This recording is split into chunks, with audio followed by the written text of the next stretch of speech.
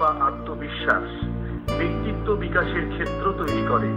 স্বামীজির ভাবনায় সেই ক্ষেত্র প্রস্তুত করার জন্য সেলফ ডেভেলপমেন্ট ফর স্টুডেন্টসের এক কর্মসূচি নিয়েছে।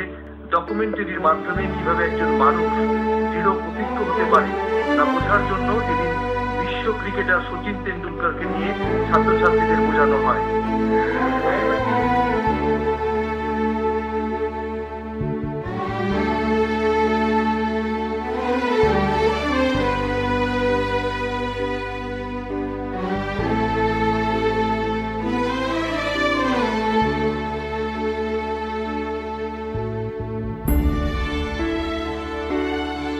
ডেভেলপমেন্ট ফর স্টুডেন্টসের ভূমিকা নিয়ে কথা বললেন সুমিত বাগচি।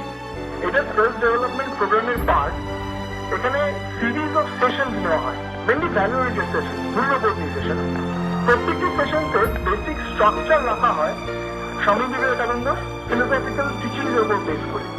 দুটো ফিলোসফিক্যাল কনসেপ্টকে আমরা সবচেয়ে বেশি ইম্পর্টেন্ট দুটো ফিলোসফিক্যাল কনসেপ্টকে আমরা সবচেয়ে বেশি হাইলাইট করার চেষ্টা করি।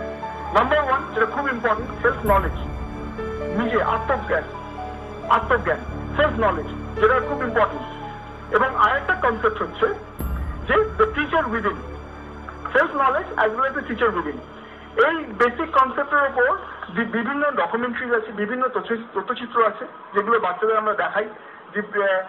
এবং পিরিয়ডিক মানে ধরুন আপনার দেড় দু মাস পর পর রিপিট করার চেষ্টা হয়। এবার রিপিট করে ওদেরকে কন্টিনিউয়াস হিটিং না করলে জিনিসটা আসবে না জিনিসটা filter করতে পারবে।